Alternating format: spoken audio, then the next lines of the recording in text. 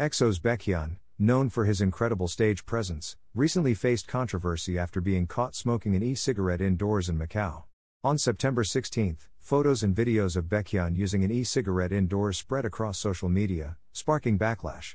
Macau's strict laws prohibit the import and use of e cigarettes, intensifying the reaction online. While some defended Baekhyun, others criticized the action, pointing out health risks and legal implications in Macau.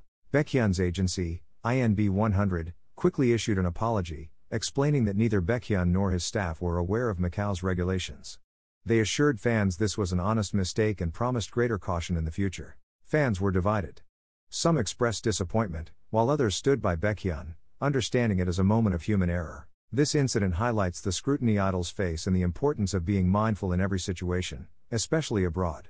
As Baekhyun reflects on this, fans hope to see him continue growing both personally and professionally.